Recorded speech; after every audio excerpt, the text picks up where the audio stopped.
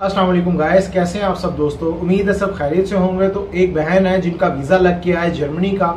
तो सोचा आप लोगों से शेयर किया जाए वो वीज़ा भी और उसके अलावा उनकी ट्रैवल हिस्ट्री भी। कौन सी डॉक्यूमेंटेशन लगाई थी जिस पे वीज़ा मिला? देखें फ्रेश पासपोर्ट पर भी वीज़ा मिलता। मैंने कभी भी ये नहीं कहा कि फ्रेश पासपोर्ट पर वीज़ा नहीं मिलेगा। लेकिन मैंने ये बात ज़रूर कही है कि फ्रेश पासपोर्ट पर वीज़ा लेना उसकी रेशो थोड़ी कम हो जाती है। अगर डॉक्यूमेंटेशन ठीक हो, आपकी बाकी चीज़ें सही हो सम टाइम आपको वीज़ा मिल भी जाता।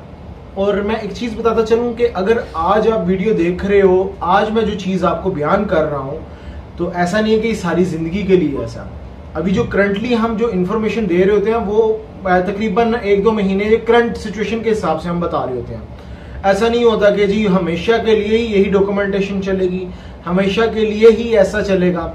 क्योंकि मुझे लोग मैसेज करते हैं फ़ोन करते हैं और बाद में कहते हैं जी हमने आपकी वीडियो देखी आपने उस वीडियो में तो कुछ बयान किया अभी ऐसा हो रहा है।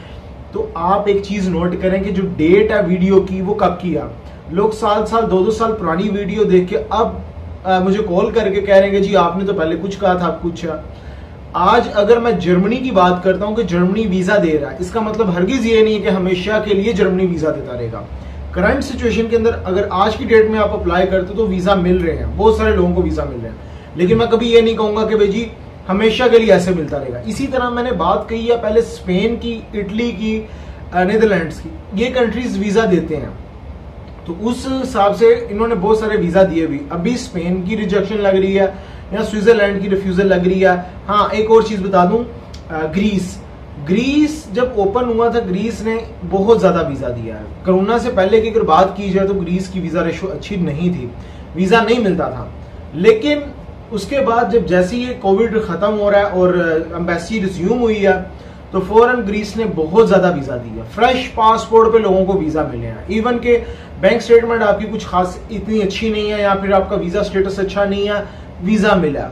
और अगर अभी मैं बात कर रहा हूँ ग्रीस के वही लोग, जो लोग हैं अप्लाई कर रहे हैं, जिनकी ट्रैवल हिस्ट्री अच्छी है बैंक स्टेटमेंट अच्छी है, जिनका वीज़ा स्टेटस अच्छा है each and everything each and everything ठीक है रिफ्यूजल लग के आ रही है।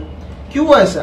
देखिए, वो एक टाइम पीरियड होता है, उस टाइम पीरियड के अंदर जिन जिन लोगों को वीज़ा मिल गया मिल गया, उस वक्त के बाद अगर हम देखते हैं तो काफ़ी लोगों की रिफ्यूजल लगती भी है इसी तरह मैं बात करता हूँ जर्मनी जर्मनी ने बहुत ज़्यादा वीज़ा दिया, अभी भी दे रहा है, लेकिन इन फ्यूचर हफ़्ता, दस दिन, दो महीने बाद महीने बाद क्या सिचुएशन हो जाएगी? आई डोंट नो लेकिन मैं जो भी बात कर रहा हूँ करंट बात कर रहा हूँ। इसी तरह एक भाई का मुझे रात को फ़ोन आया तो मैंने सोचा, चले, वो भी डिस्कस कर लूँ।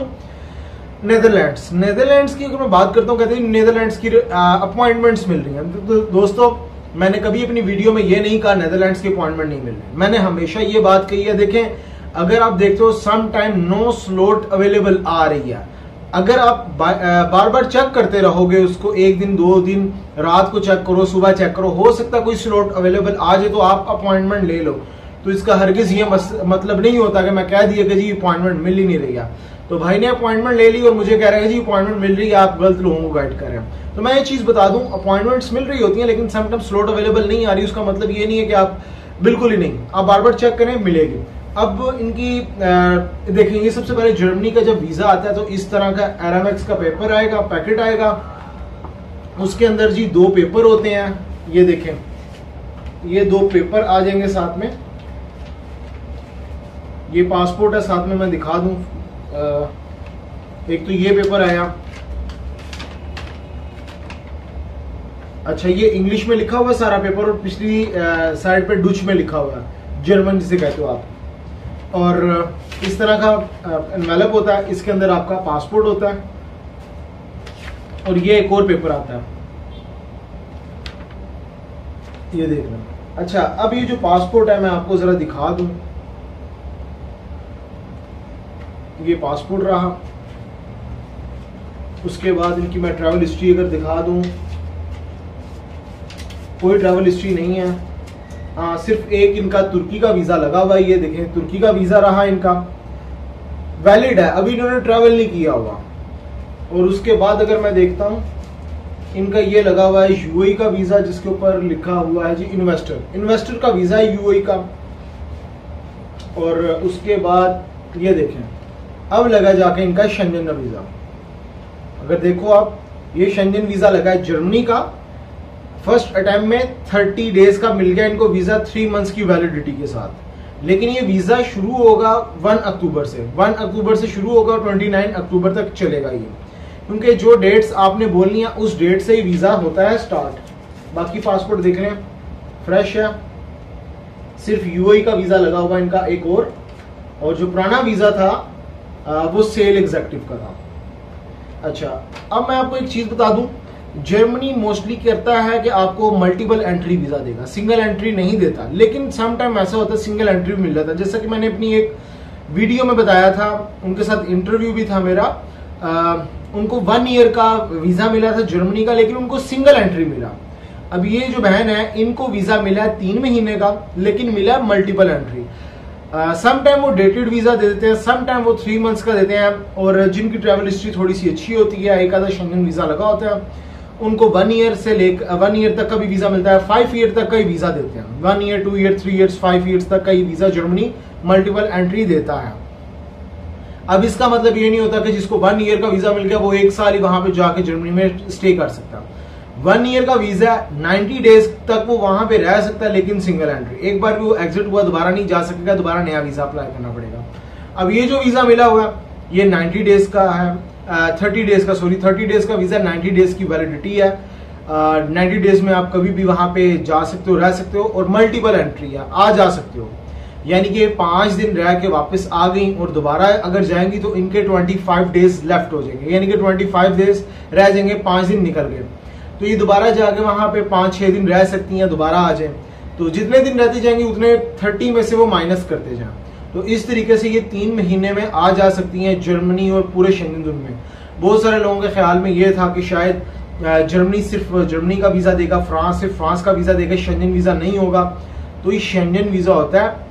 आप अगर जर्मनी में जाओ, जर्मनी से आप किसी भी कंट्री में जा सकते हो। एक और बात क्लियर करता चलूँ।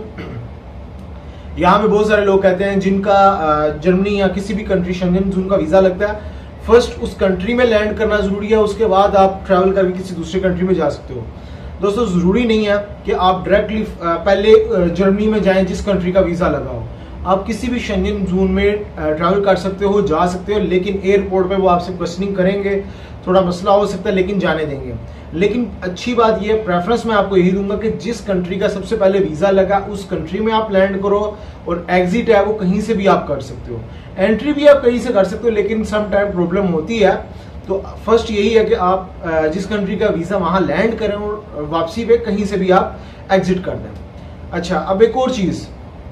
दोस्तों, बहुत सारे लोग कहते हैं विज़िट वीज़ा पे जाके हम क्या कुछ कर सकते हैं? दोस्तों विज़िट वीज़ा पे जाके आप अपने आप को लीगल एंट्री शो करवा के पुर्तगाल में रह सकते हो। लीगली तौर पे अपने वीज़ा स्टेटस चेंज कर सकते हो। इसके ऊपर मैं बकायदा एक वीडियो बना दूँगा डिटेल में कैसे आपने रहना है, क्या करना है। पुर्तगाल ही क्यों? बहुत सारे लोग पुर्तगाल, स्पेन, कुछ दूसरे माल्टा वगैरह में इंटरेस्टेड होते हैं। इसके ऊपर डिटेल में एक वीडियो मैं बना दूँगा। तो गैस डिस्क्रिप्शन में मेरे ऑफ़िस का एड्रेस और मेरा कॉलिंग नंबर वगैरह भी मिल जाएगा। आप डायरेक्ट करके कॉल करके मेरे ऑफ़िस आ सकते हो। नेक्स्ट वीडियो में मिलेंगे नए टॉपिक पे ख्याल रखिए अपना टेक केयर